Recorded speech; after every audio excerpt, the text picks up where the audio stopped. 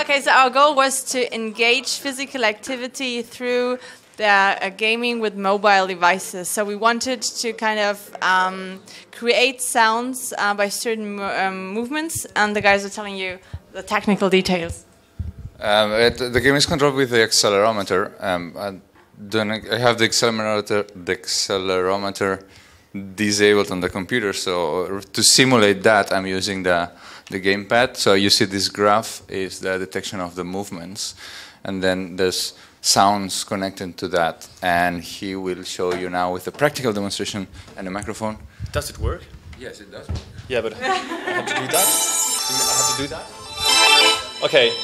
So uh, we have, uh, sorry, uh, we have four parts. We have basically a drone. This is a drone. This is a home, and we have the possibility to add not that one, but that one. These are chords, and the chords are reacting with, uh, I guess, the x, uh, the movement. So it will be the x parameters. Uh, so you have different chords. Uh, on top of that, you have a melody which reacts to another parameters like y.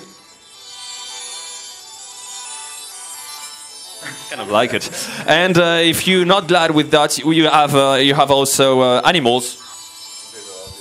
Oh, sorry. I got a mail. Yep.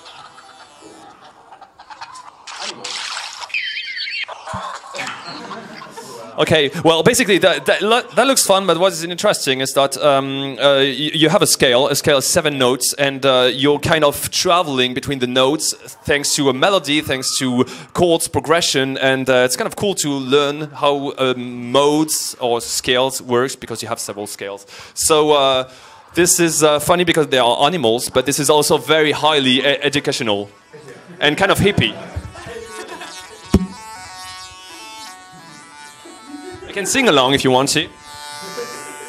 Thank you.